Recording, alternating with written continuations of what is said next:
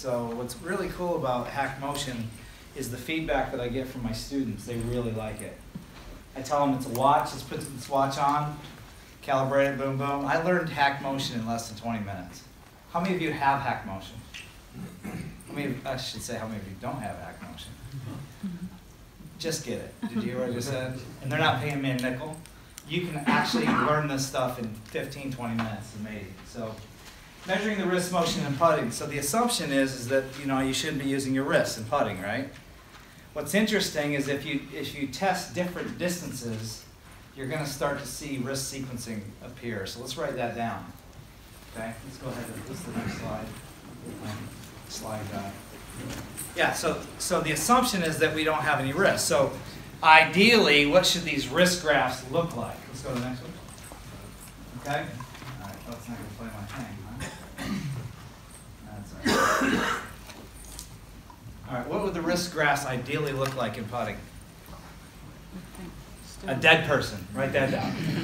Literally right now. I'm serious. The grass should look like a dead person. No flexion extension, no radial ulnar, and for you straight back, straight through people, zero rotation in space. But you're actually twisting which way. If I'm going this way, I'm actually turning everything the other way. Okay? All right, so I think in putting it's very important that you test different distances. So let's write that down, please. I use 10 foot, 20 foot, 30 foot.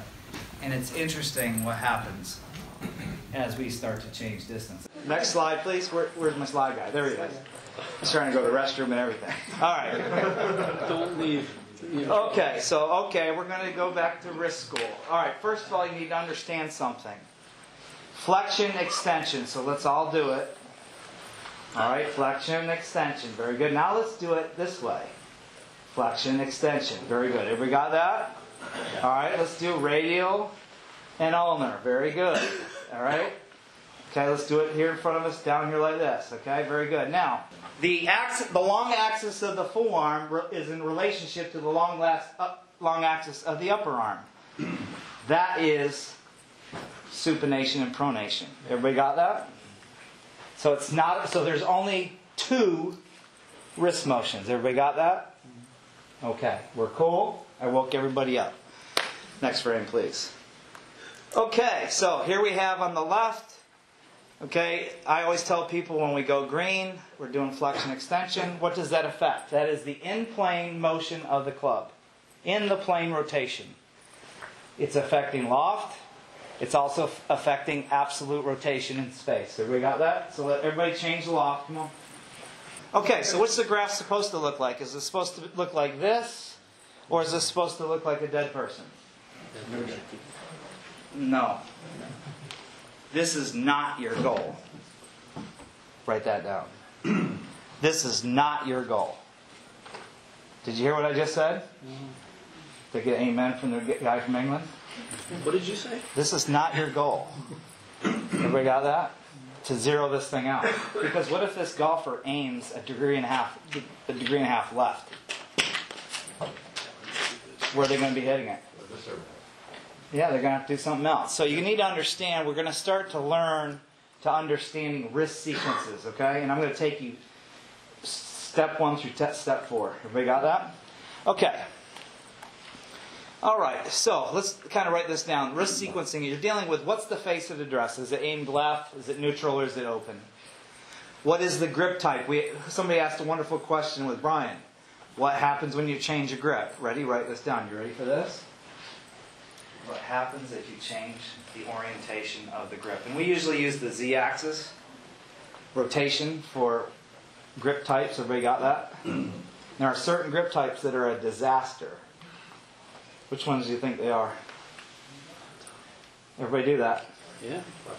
It's a freaking disaster waiting to happen. It's the Titanic in punting. Write it down. I'm serious. When you go weak, uh, lead hand on top, trail hand rota- rolled to the top, it's a disaster. Because as soon as you move the club in plane, it rotates in plane. What happens? It also goes about the shaft. Now the space is wide open. And the space is wide open, and what happens to the body? Yeah. Absolutely. You get it? All right, so when you're doing this, before you start looking at the cool stuff, make sure you look at the face. What's the grip type? And what is the face's orientation to, to the grip orientation? Is it closed face bias, open face bias, or neutral? And what's interesting is I used to let people hold the club any way I want them to. The more and more I study the wrists, the more old school I get. What do I mean by that? I'm not talking about Chuck Taylors. Not talking about Jimmy Chitwood jerseys. What am I talking about old school? What's old school instruction? Thumbs on the top. No, no, I'm talking about teach the grip. Write it down. Every lesson I ever took in golf, we took a look at my grip, we took a look at my stance and my setup. The more and more I do wrist studies, the more and more I start changing people's thumb, short thumb, long thumb, index fingers, radial ulnar deviation, getting the right amount of extension, getting the right amount of supination, getting the right elbow flex, because you have to understand it is a coordinative structure of all of it. The grip is all of it. It's not just your hand. Write that down, please. The grip is not just your hand. Everybody got that? Okay. All right, then, what is the order of movement? So here the hand is okay, so we have a we have two joint movements, right, which are local. Write that down. And we have a segment rotation, which is the purple. Everybody got that? That is not pronation supination. That is the hand moving globally in space. Everybody move your hand globally in space. That's what the purple is. Okay, everybody, what's the green one? Come on, do the green one. Flexion extension. Okay, do it with the trail hand now, because we're going to get a new sensor for that. Okay, give me the blue one with the trail hand. Okay, give me the blue one with the lead hand. Very good. Okay, got it. Okay, so what is the order of movement here? The hand starts what? Moving in space. Then what happens? There's a change in Flexion. flexion, and then there's a change in. Is it going more positive or more negative? Write that down. Because when I started learning from Doc Neal, I couldn't remember because his coordinate system was rotated this way. I'm like, mm-hmm. is the positive radial or ulnar? Is the, I, get, I couldn't figure it out. So I just started saying to myself, is the graph moving more positive or more negative? Please write that down. So he's going into flexion and what? Where's the club head going in space? Inside or outside? Yes. What do you think is going to be the response to the trail wrist on the downswing when the club's outside and open? You're going to under twist and go where? Everybody go with your trail wrist. Go go add a little bit of loft, a little bit of towards flexion, and a little bit of ulnar. And look at your form and what's it doing? Open. Yes, so two movements in those planes produce a movement in the third plane.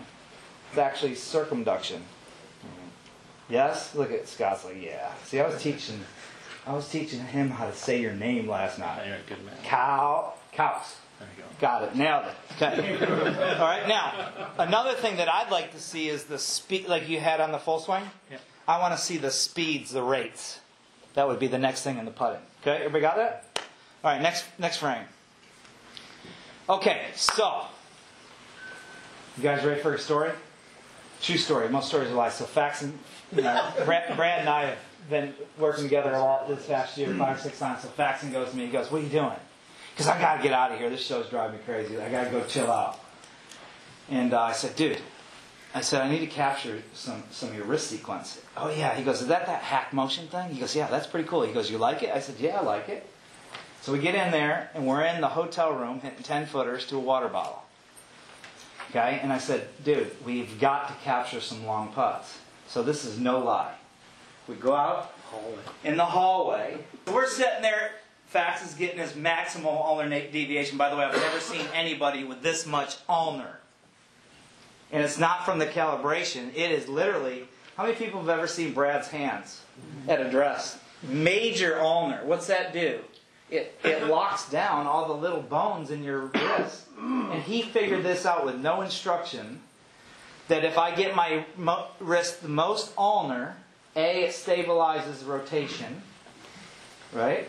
But it makes the shaft arc in the transverse plane.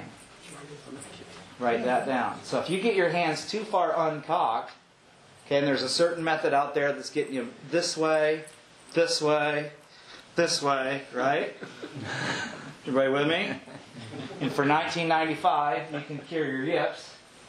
Okay? Being too much ulnar deviation can be destructive as well.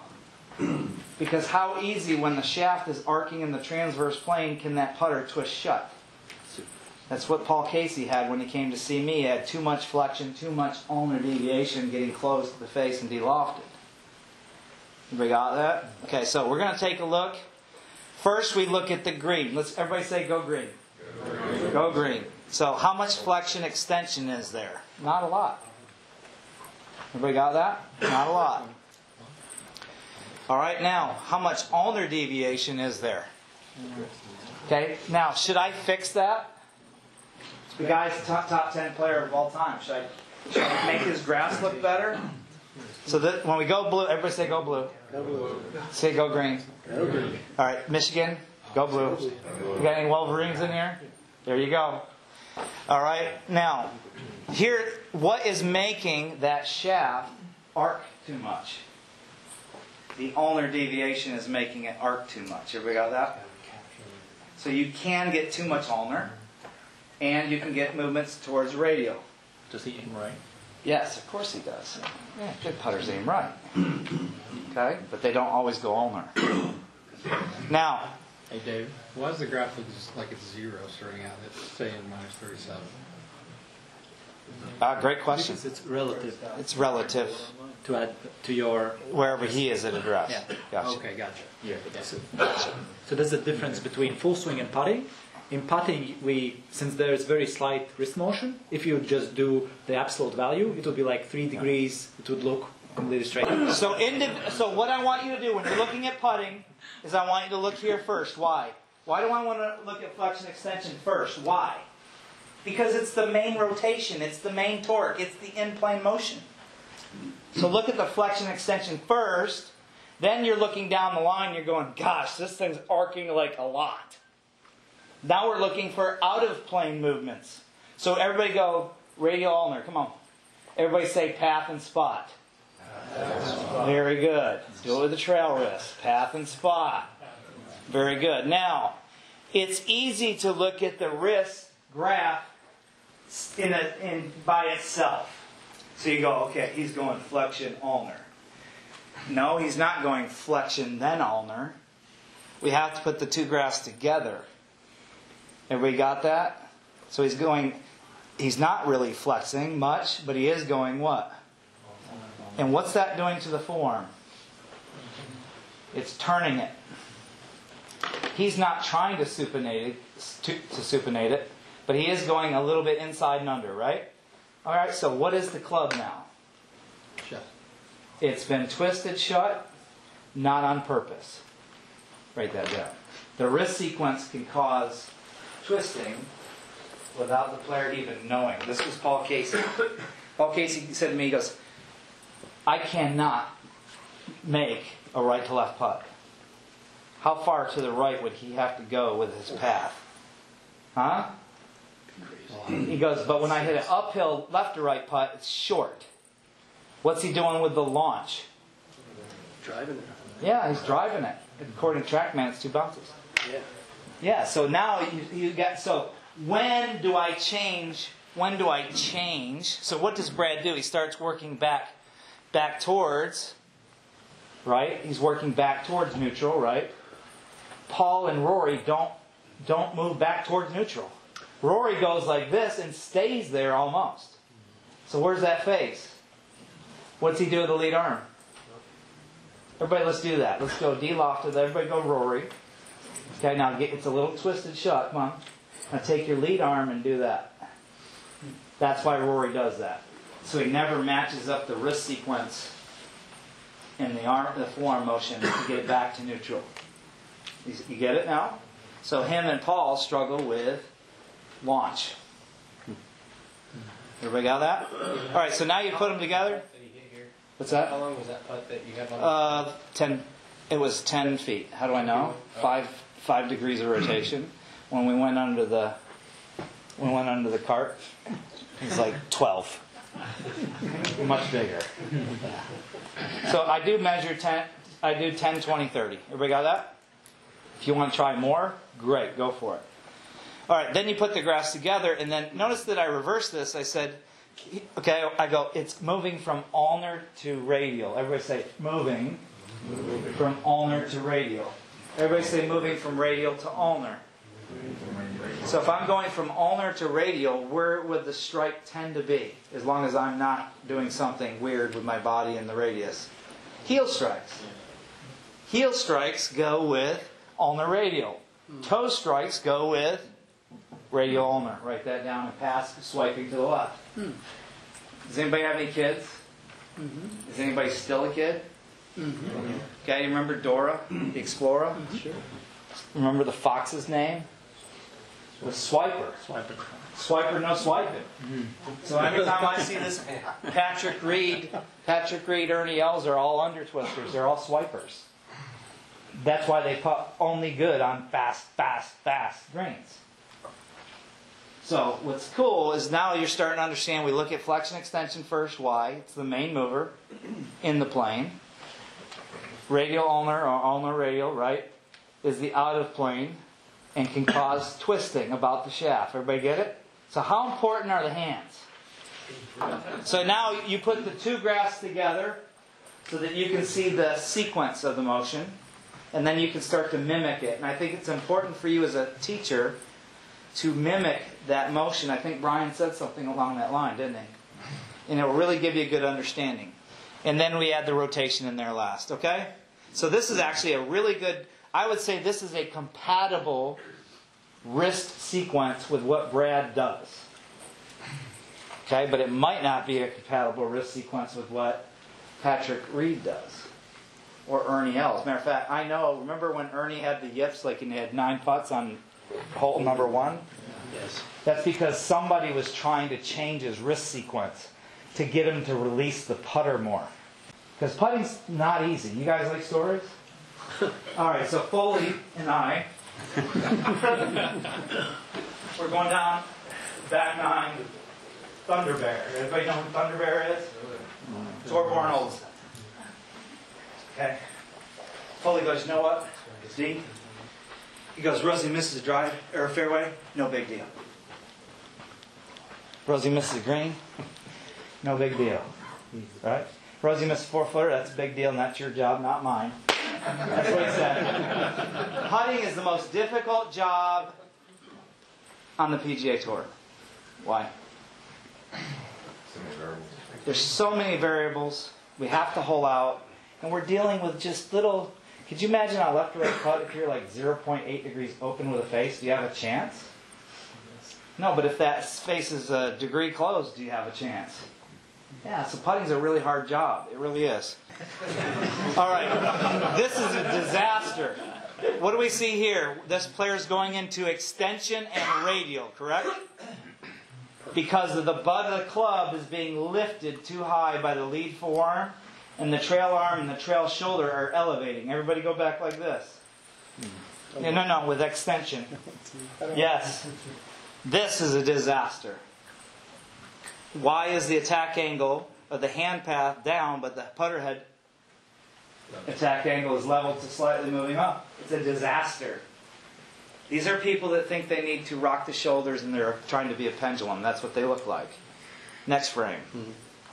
Okay, now this is the brush stroke, the old school. Everybody give me a little low, high, flex. Yeah, a little brush here. Everybody brush up on it. That's what that looks like.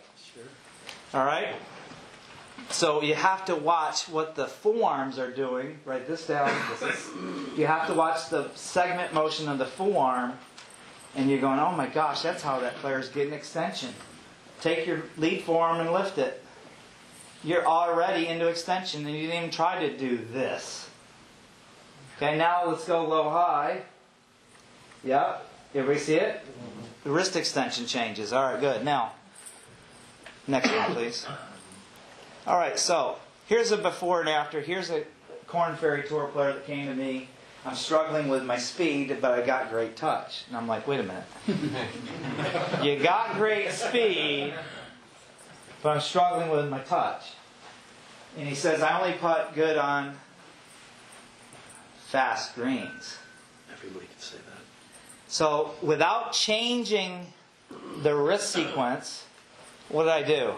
I quieted it down so his launch became a little bit more consistent. Now, this is huge. When should the wrist sequencing take place? When should there be wrists in the stroke? Right where? In the transition. Write that mm-hmm. down. Great players have wrist motion in the transition, not at impact. The hacker has wrist motion probably everywhere. All right, next one, please. Okay, see, I told you I can slam this door shut fast. Absolute va- values vary from calibration to calibration. Absolute va- values vary from player to player. Study the graphs of individual wrist motion first, then altogether. Test wrist motion from varying distances. Please do it from varying distances. James, you do it from different distances with chips and pitches, correct? All right, now, no one, uh oh, ready for this? No one so far, as I said so far, had zero wrist motion from all three des- distance tested. No one so far. But yet we're telling no wrist, right? Now I'm not saying be wristy, but understand that a certain amount is very beneficial. Some of it's just from the inertia of the club. Minimal to no wrist action motion from less than 10 feet only. Can you please write that down? I've had players on the biofeedback, and we're at 30 feet, and they're just maintaining, and I'm like, I can't hit it. Like, of course you can't hit it, because there's no loading of the club. There's, you- okay, so don't be sitting there going from 30 feet. We got to get that flat line graph. Everybody got that? Mm-hmm. All right, certain wrist sequences are very compatible and functional. Transition wrist motion is very functional in certain stroke patterns. If I got, uh, Phil Kenyon's a good friend of mine, he tried to get rid of my transition wrist sequence. And if I told him, I said, Phil, I can't get to the hole. I can't hit it. I got nothing. There's certain players that like to feel the inertia of the club, and sometimes the inertia of the club in that transition is what's causing the wrist motion. All right? Any questions? Like one question? I think uh, maybe No. afterwards we'll have like a networking and refreshments because Scott has also half an hour. We have quite a tight Did I take up your half hour? But uh, Well, I got started late. it was a great presentation, and I think David probably is going to be around. Like if, if somebody Uh, maybe, that. yeah. Okay.